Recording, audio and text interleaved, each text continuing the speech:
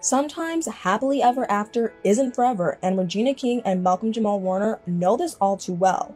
Both superstars may appear to be living their best lives right now, acting like nothing ever happened, but the truth behind their story is much deeper than they'd like to let on. And you guys are never going to believe how it all really went down. Regina and Malcolm's love story was one for the books, if you could call it that. They were the it couple and everyone loved them. Regina and Michael met as child stars in the 1980s, but didn't hit it off until after Regina had ended her first marriage. Their getting together was surprising to say the least, and according to Regina, there was actually a reason for it. Regina believed that the universe had a plan in bringing them together when it did. In other words, the timing was just perfect for them because they both wouldn't have been ready earlier. Apparently, they both had to go through all that they did so they could be ready for each other like they were. I mean, Regina sounded so sure of their relationship. This was why everyone thought that it was really going to be forever for them. But sometimes what you think isn't always what ends up happening and Regina and Malcolm's case is a prime example of this. Not too long after Regina and Michael had gotten together in 2011,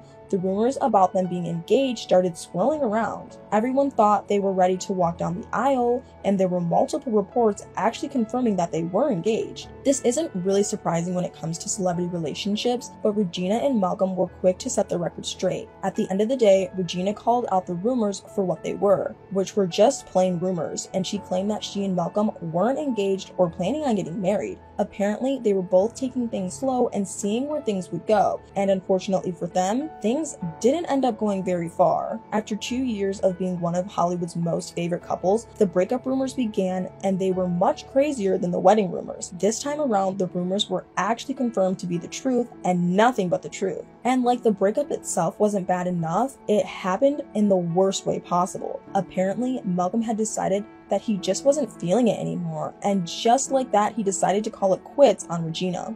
Now, to make matters worse for Regina, she was barely given any notice before, no red flags, or even a warning. She was caught completely unaware by Malcolm and then asked her and her son to move out of the house that the three of them share together. To say that Regina was devastated by this would be an understatement. Apparently, she was crushed, and according to an insider, she was left brokenhearted because of the news. And the fact she didn't know why Malcolm had decided to end the relationship just like that made her and Malcolm's breakup far more difficult to deal with. Now, Regina didn't hide the fact that she was obviously hurt by him and Malcolm's untimely breakup. She had no problem telling everyone how it happened, but what if she had more details than she actually spilled? Allegedly, Regina didn't give the public the full gist of her and Malcolm's breakup. She kept arguably the most important details to herself. This was a secret that she apparently was able to hide for just two years before she decided to spill it. In 2015, in an interview that she did with Us Weekly, Regina was asked what her favorite Valentine's gift was,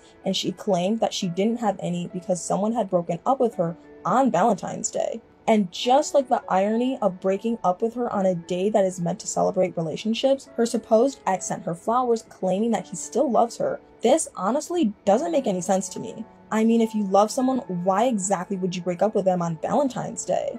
After Regina had received the flowers, she claimed that she threw the flowers in the trash and told him to leave her alone using not so friendly words. And I don't think anyone can blame her for this. Now, although Regina didn't exactly drop the name of the alleged ex that pulled the stunt on her, she did hint that Malcolm was probably the one that did it. In her words, they will know, with they meaning every single one of us. And the fact that Malcolm didn't come out to clear out his name when everyone accused him of being the person made it much easier to believe that he was the culprit. Regina and Malcolm's split was a bad experience for her without any doubt, but she managed to pull through it. She went ahead to live her best life quite literally and won some major awards for her work, including an Oscar and an Emmy. And she wasn't the only one enjoying the big success. Her son, Ian Alexander Jr., also followed in her musical footsteps and became a DJ and singer songwriter in his own right. Regina never remarried, but has found a lot of comfort being in the company of her son Ian. Some might even go as far as to say they were best friends. This is until the biggest tragedy of Regina's life struck. Earlier this year, Regina had lost her son and best friend. This is the worst thing that can happen to any parent, and Regina's case was definitely no different. This news was devastating to everyone, especially Regina and her family. In a statement released by them, they expressed how much of a loss Ian was. In their words, he was such a bright light who cared so deeply about the happiness of others, and then they further asked to be respected during this time. It ultimately was revealed that Ian had ended his own life, and what's sad is that a week before this had happened, he dropped some hints about what was happening on his Twitter page. Ian deeply reflected on his relationship with social media, Instagram to be specific. In his words, he didn't think that Instagram was healthy for him, and then he made a reference to an episode of SpongeBob to tell everyone that he was losing his mind. Sadly, we weren't really aware of the severity of the statement that he had made and the meaning behind it and this had just happened a few days before his 26th birthday.